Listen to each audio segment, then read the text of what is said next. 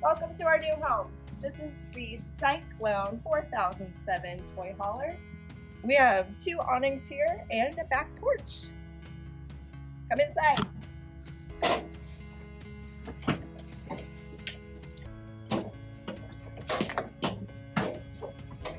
When you first step inside, you'll see our table. This was an important feature for our family because we really like having meals together at the table. Above the table, you'll see the TV, which you can watch from the comfy couch. I'll demonstrate for you. Goes all the way back. Over here is our kitchen. I really loved all of the counter space, um, which is amazing counter space in an RV. Um, we have sink cover. It's a full-size sink. Love that. We can bathe our dog. And then this lifts Did you up. just say bathe our dog? Yeah. or kids, I don't know. And right here is the trash. I don't know what to call it. Cabinet. Opening. And tons of cabinet space, full size microwave, three burner stove, and oven. We've got a residential size fridge. Come on to the bedroom. Right before the bedroom is a pantry. It's not that big, but it's still there. And deep. All right, this is the bedroom. Fireplace. And tons of drawers, which is great. We also really loved this picture window. It's beautiful. Can't wait for there to be mountains. And Okay, and then this closet is where our washer and dryer will go. It is the laundry room.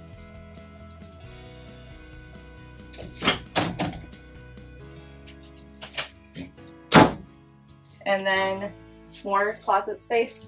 Really good closet space here.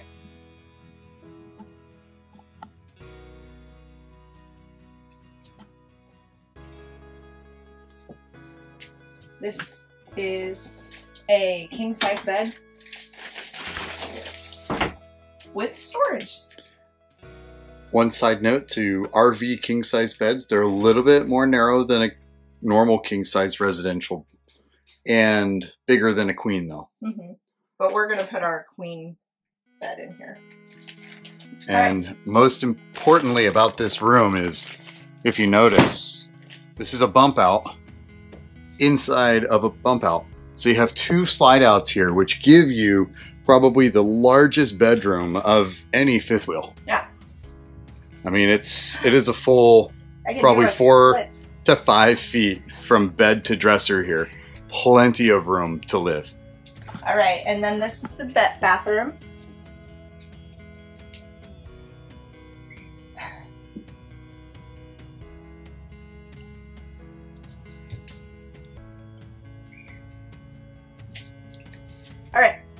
And now we're gonna go out again.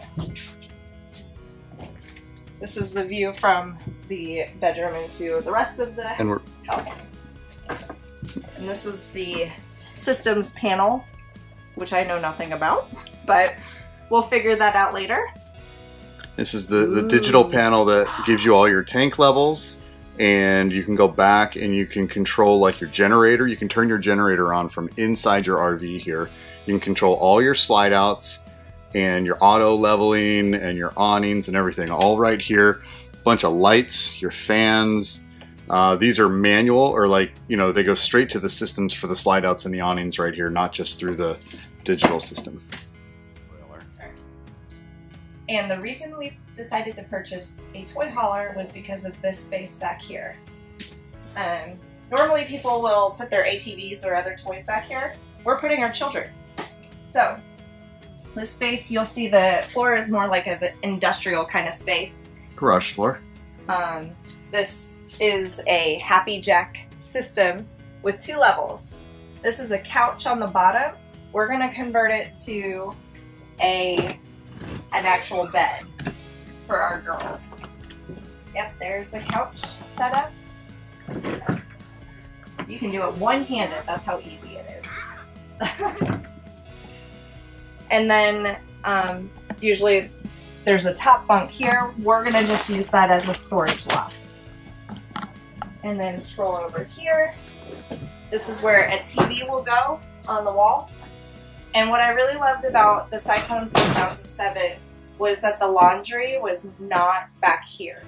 All right, and the reason we really liked this model, the Cyclone 4007, was because this loft area up here, this bunk, face the toy hauler section so that when we put our kids to bed, we can close the door down here and they have their own room and space. So um, this ladder comes up and that's where our son will sleep.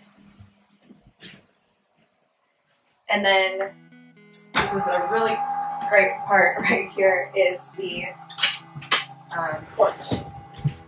So these slide open like this.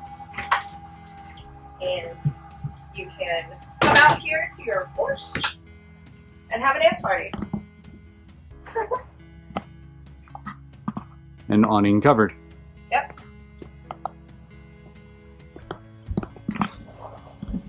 So one more nice feature back here is if you uh, don't have a necessarily a, a family use for this area, this wall opens up further and you can latch the door flat so that you have the entire space here for your uh, side-by-side or ATVs and uh, plenty of D-ring tie-downs on a uh, 3,000 pound floor. Hey guys, welcome to the outside of our uh, Cyclone 4007 by Heartland. Uh, just want to start here at the main front entrance. Uh, when you go in, the stairs, they just fold right on up. Nice and sturdy. And then they lock in right here to the side, and that's how that works. Uh, one little thing I want to point out and feature on this is they have adjustable legs here. You pop this pin out, change the height of the legs to make sure that you can clear the door here. I didn't know that the first time, and I kept rubbing the door on the top here. Uh, move over here. We have our outdoor kitchen. Uh, what we have set up here is we have our TV, a light above the TV. We've got wind guards for your two burner stove. You have an outdoor sink area here. This, just as a quick connect, pops in. The sink, as you see, has no plumbing to it. It's just a use, dump kind of a thing. Uh, this sliding tray, it just has two pins that lock it in place. Uh, so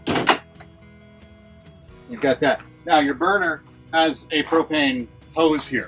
Propane hose comes down and out here and it clicks into your propane line right here. So uh, that is that. If you have another feature that runs off of propane, you can plug in there and tap off your line uh, to connect a different grill or whatever. Got a, a small little fridge, it works. Uh, has a little bit of a nice uh, tray up here, but uh, you got your outdoor kitchen set up. This is just your uh, water heater, exhaust and everything. If you need to get into it to uh, change things out, you've got it right here. Um, one thing, tip, if you have an RV, whether it be a 4007 or not, that has uh, a little metal plug down here, you need to change that out every year. The reason is, is that's what creates a uh, corrosion-free environment inside. It's your uh, anode rod, I think it's called. Um, so that basically any any water that's in the the tank, uh, corrosion will happen on that rod instead of corroding the inside of your tank. Uh, newer aluminum tanks, they have just a little plastic plug like what I have. You don't have to do any maintenance for that. We have a huge pass-through storage when it comes to a toy hauler, especially. Uh, as you can see, we got a lot of stuff in here. You can see it goes all the way through. We got a, several tables. We got a lot of bins of stuff, coolers, kids' toy bin. It's got two little uh, side compartments here that are great for holding uh, little small things along the way. Uh, and then there's also an opening in the front that we'll get to. Uh, side compartment up here, just one of your propane tanks on this side. There's a matching one on the other side also if you need to get to your hydraulic jackets right there. Now around here, sorry, we have the uh, the truck hooked up because uh, we were staying tonight at a, or uh, last night at a Harvest Host, so we never really disconnected.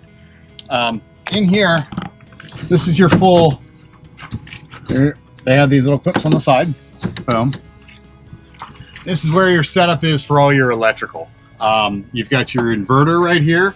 You got your batteries down here, a couple 100 amp hour. Uh, I think I believe they're AGM batteries. This is your hydraulic fluid reservoir for your uh, leveling jacks. I uh, want to make sure that you obviously have some in there. And a bunch of other wiring that uh, I don't need to get into at the current moment. Move on over to the next one over here. This is your pass-through storage uh, opening once again. Uh, just a nice feature to have it on uh, three different sides to access your storage. You got your Onan 5500 uh, watt generator. Great generator. I mean, producing 45 amps of uh, power. You can recharge, uh, you know, fully depleted, and by that I mean 50% depleted batteries, because uh, you don't want to put uh, lead batteries below 50%. You can recharge those in just a little over two hours. All right, come on through. Right on the back side here, got a nice light to help you work in this space at nighttime. Those are our kids. You heard that scream. You got a switch right here, and this does your end cap lights. Let's take a look at those. Little uh, neat or uh, LED strips. Actually, extremely bright at nighttime. Uh, so much so that if you got neighbors, you'll probably bother them. And you've got your auto leveling system so that you can actually do all your leveling and unhitch work right here. Unhitch, hitch. Do uh, both. Uh, while we're kind of here speaking about this, you do have a six point uh, leveling jacks. It's not a four point system. I mean, you need six when you're dealing with a 43 foot triple axle rig. Uh, and so you've got two in the front, two about midway back, and then two behind the rear axles. Uh, and then it's basically a one touch. Once you get uh, your truck pulled out, you hit auto level, and it does its magic. Continuing around the side, you have your other panel that's just like the other propane on the other side. Pass through storage, and then you've also got your uh, water, basically all your water connection here. All right, up top, you actually have cable uh, plugs.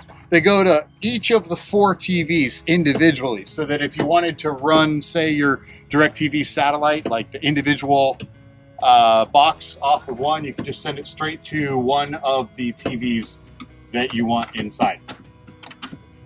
You've got your uh, water selection here, so you would put your water hose right up here if you have a connection, and then uh, you would select tank fill, obviously if you want to fill your freshwater tank. If you're dry camping like we are tonight or today at the Harvest Host and you want to be able to use your freshwater tank, select it there. City fixtures, that's basically if you want to just run off of your connection bypassing your uh, freshwater tank. Here's a nice thing right here. You got a freshwater, uh, or comes from the fresh tank or the city fixture. Got a little shower here. Uh, I didn't have it out, but there's a uh, plug-in uh, coiled up hose with a spray attachment on it where you can put whatever attachment you want. And uh, click it in here, you got hot water and cold water. You've got, uh, once again, your, this is your main cable. This is if you're at a campsite and you have uh, cable from the campground, you plug it in right here and it'll go throughout your, your RV. Uh, this is your black tank flush fun stuff. So uh, this is what you would use to hook up after you've emptied your black tank. You'd fill it up some and then keep flushing using this port here. That's for your front black tank. Over on this side, Molly, come around. You have yourself just an electric outlet. GFCI protected right here. And I gotta find out what that switch is for.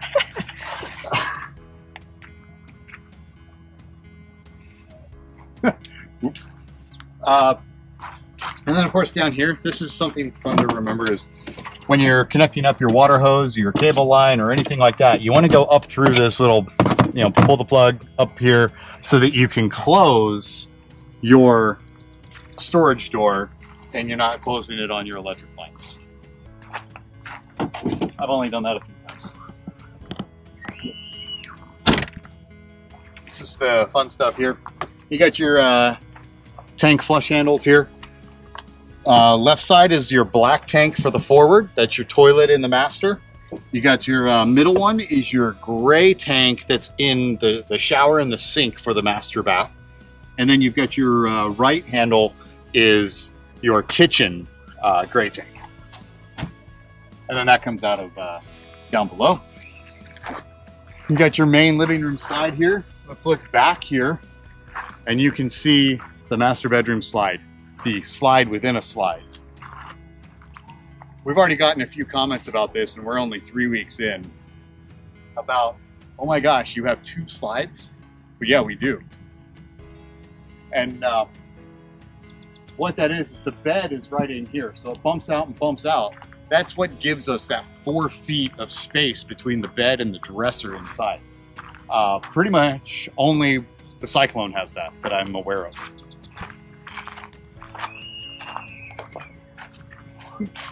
You got your three 7,000 pound axles to, to get you safely down the road. This is your black tank flush for uh, the back bathroom in the garage. And then of course, same thing here. You got your two, uh, two flush handles. Bottom one is black. I remember that BB, bottom black. And then the top one is the gray uh, tank. So you've got two gas uh, tanks here. You've got one, the forward one here is for the generator. It's a 20 gallon tank. Uh, and then the rear one is your auxiliary tank, which is for whatever you want to use it for. Uh, this is a toy hauler. So you have your ATVs and your uh, uh, dirt bikes or side by sides or whatever the case may be. And what you have is you have a fuel panel here. So on your monitor panel, you turn on your fuel pump, you come over here and you hit on like that. And as you can see, generator tank, we're at about a quarter full. The auxiliary pump tank, we're about, we're fully full. So here's your, your gas pump. You would just use this like any other normal pump. After you've turned it on, it'll last for five minutes and then it'll turn off. And then you have to do it again for another five minutes and keep doing that. From what I understand, I haven't used it yet. It's very slow. So it's just a patience process. But we use it because we have no toys to refill our generator tank. So that's what our plan is, is we now have 50 gallons of fuel for our generator. That's great for boondocking. Back here, this is your shore power, 50 amp hookup. So, uh, pretty standard. Uh, you just plug it in, kind of turns a little bit, and then you screw down the cap to hold it on there nice and secure. Uh, so what we have in the back here is the main feature of the toy hauler. Just fold it down, and this is your ramp to load up all your toys. But when you're not using it as a ramp, there's two cables that create the deck for the toy hauler. You can get a feature that adds a uh, step up, but I figure climbing is just easy. What you have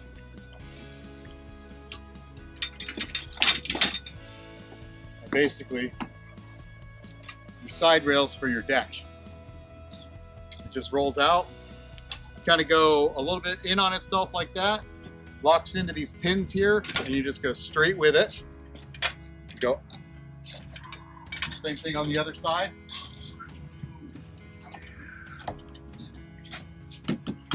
Locks in, and then this locks in down below. And then these corner pieces right here lock in the braces to keep it nice and steady and secure. And then right here, you have yourself a door, slides over, keeps it nice and locked. And then you can slide it back to open up your door to get out of your deck. You got your three season doors right here. Um, you saw them from the inside. From the outside, they're, uh, they're locked currently uh, from the inside. But you have fully screened in, you got some glass, uh, plexiglass, I believe, this slides up and goes into place however you want to do it. Uh, when you're done, or I should say, when you have the need for the ramp, Molly,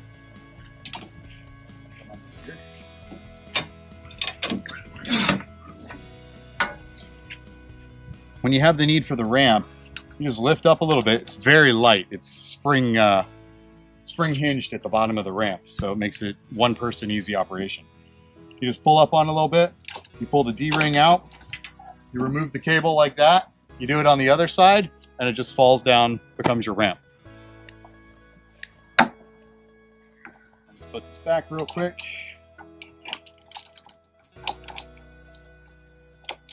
Boom. Simple as that. All right, so we're coming around to the, the back right corner. You have your garage door, goes in. These are a little different. They just fold up into themselves.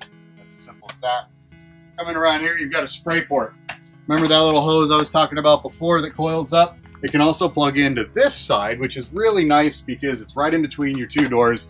After a nice long day of doing whatever and you're kind of dirty and muddy, you don't want to go into your uh, house that way. So you just hose off, rinse off right here before you go on up into your room. Uh, and so next to the spray port, you do have uh, your exhaust for your heater. Uh, you have a propane heater that'll vent through the floors uh, throughout the unit. But uh, looking up, you can see your two awnings that kind of cover almost the entire length of the RV.